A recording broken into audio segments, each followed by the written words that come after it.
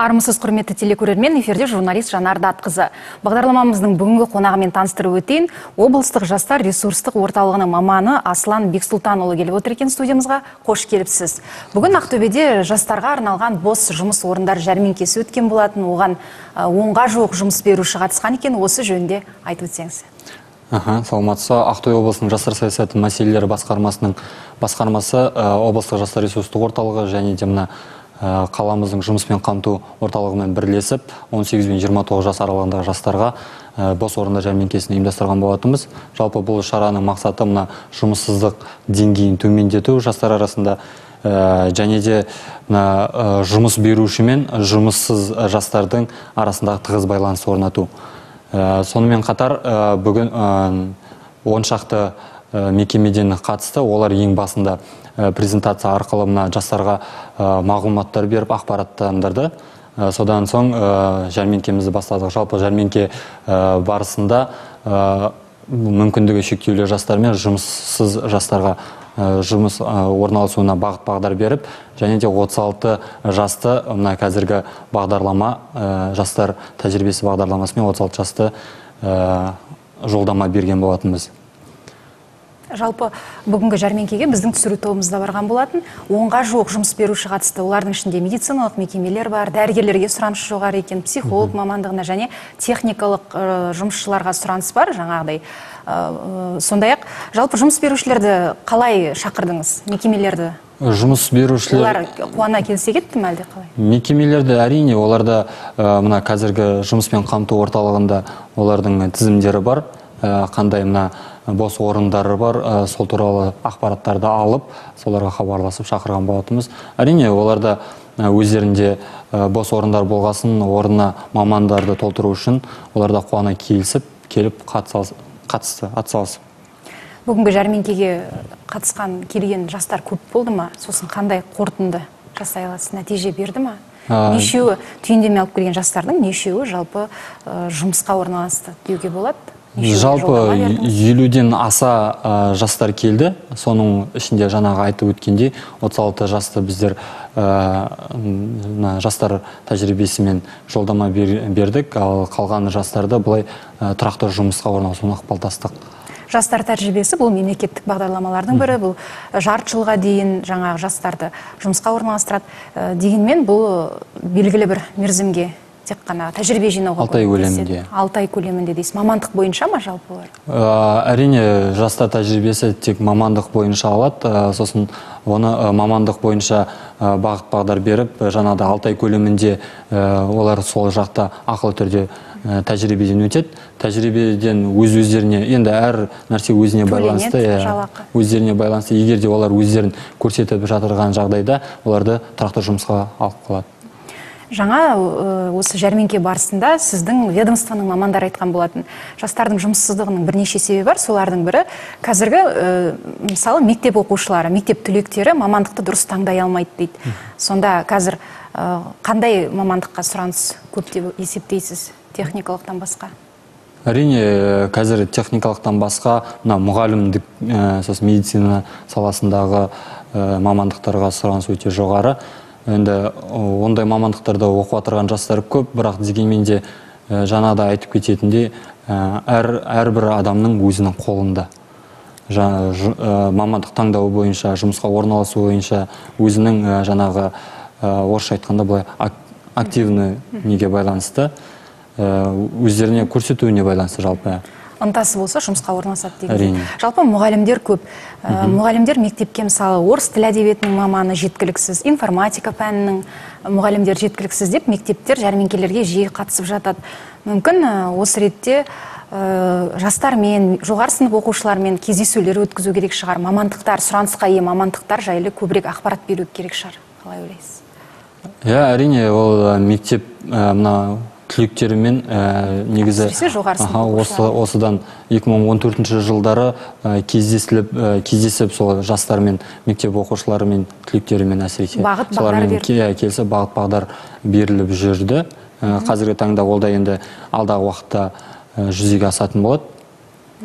Ал осындай жәрмеңке жиі өткізіледі ме? Және ол туралы қайдан біле алады жастар? Қай жерден хабарландыруды көруге болады қазіргі енді жастардың барлығы әлеуметтік желіде жақсы отырады. Әлеуметтік желі жақсы дамыған. Сол арқылы біздер жаңағыдай өзіміздің жарнамамызды салып тұрамыз. Бос орындар жәрмеңкесін бүгін енді мына жастар ресурстық орталығы жастар саясат мәселелері басқармасы және жұмыспен қамту орталығымен бірлесіп енді бірінші бос орындар жәрмеңкесі деп те айтуға болады. Өйткені осыған дейін жастар саясаты жабылып міне қайтадан кейін қарай ашылуда. Енді бұндай шара жалғасын табады дейсіз. Әрине. Енді сіздің ведомство облыстық жастар ресурстық орталығының жұмысына тоқталсақ жаз енді аяқталды оқу жылы басталады ертең. Сіздің жұмыс қыза бастайды. Енді жоспарларыңызбен бөлісіп өтуіңізге келеді осы ретте. Бізде осы қыркүйек айының басында мына оқу орындарында жоғарғы білім берумен мына арнаулы оқу орындарында мына жастар ісі жөніндегі комитет төрағаларымен бірігіп солар, соларға семинар тренингтер слетіміз өтеді. Ол облыстық деңгейде өтеді және де тағы да бір айта кететін үлкен бір шарамыз мына жас мамандар форумы форум слеті бір күндік. Ол енді пока мына неде халықаралық деңгейде өткізу жоспарлануда.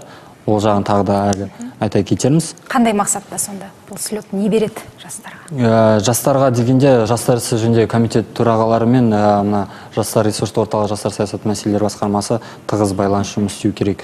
Ә, әрине қазіргі жастардың бос уақытын тиімді пайдалану мақсатында және де осы алдағы уақытта бірлесіп жұмыс істеуге үлкен мүмкіндік туады. Жақсы аслан. Жалпы енді жұмыссыз жастар басты назарда. Сондай ақ есепте тұрған мысалы түрлі жасөспірімдер және есепте тұрған жаңа жастар қылмыстың алдын алу мақсатында да жұмыс істейтініңіз белгілі. Осы ретте рейдтер ұйымдастырасыз. Аха бізде дейтін енді осы жаңағыда айтып кететін бастау осы жиырмасыншы тамыз айынан бастап қазір рейдтер жүргізілуде. қыркүйек айына дейін алдағы уақытта да осы несін жалғасын табады.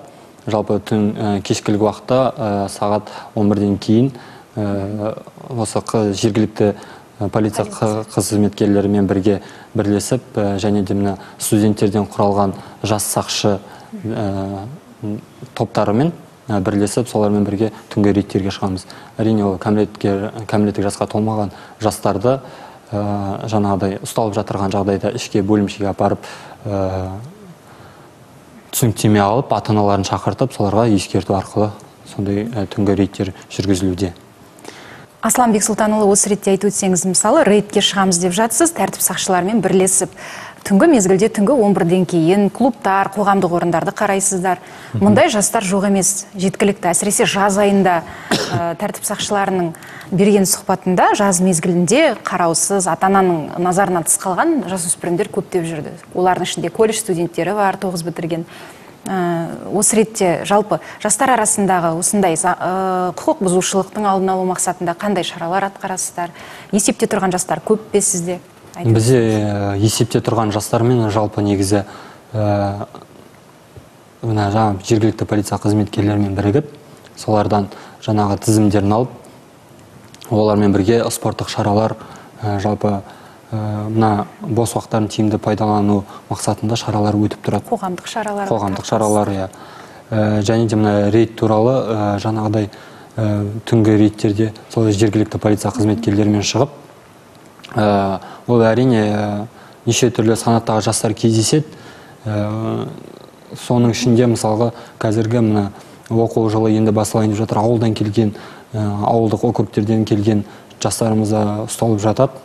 Олар білмей қалуы білмей қалуы да мүмкін ақпарат ақпараттандырылмауы да мүмкін. Соның барлығын сол жасөспірімдерге ақпараттандырып ата аналарына ескерту жасап жіберіп жатамыз.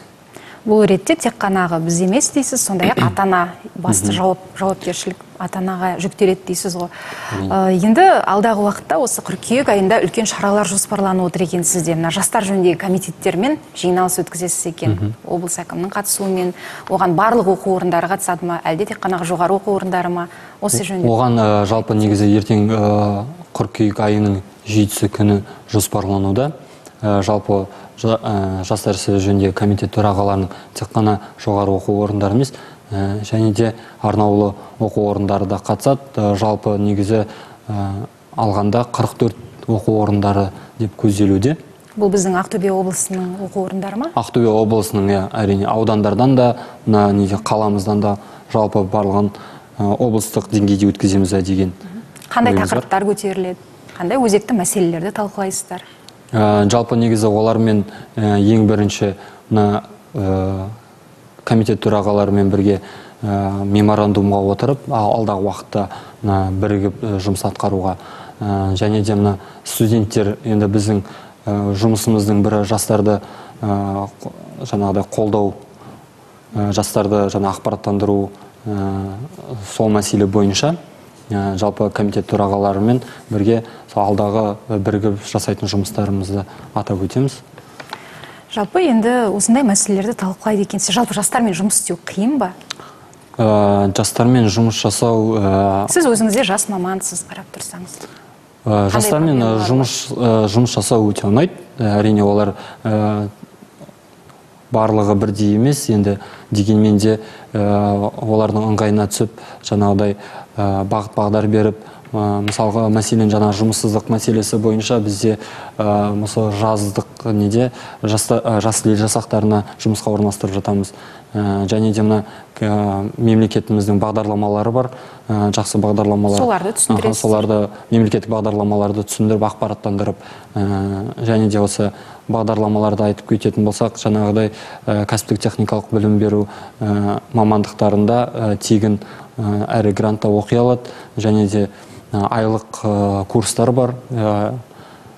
Жаңағыдай соларға жастарға берілген мүмкіндіктердің бәрін кеңінен насихаттаймыз дейсіз мемлекет тарапынан көрсетіліп жатқан қолдау да жоқ емес және сіздің орталыққа да әрине қаржы бөлінеді облыстық бюджеттен. Жалпы жастар жастармен жұмыс істеген кезде қай ресурсты қолданған жақсы? Әлеуметтік желі арқылы ма әлде бетпе бет кездесу кездескен тиімдірек пе?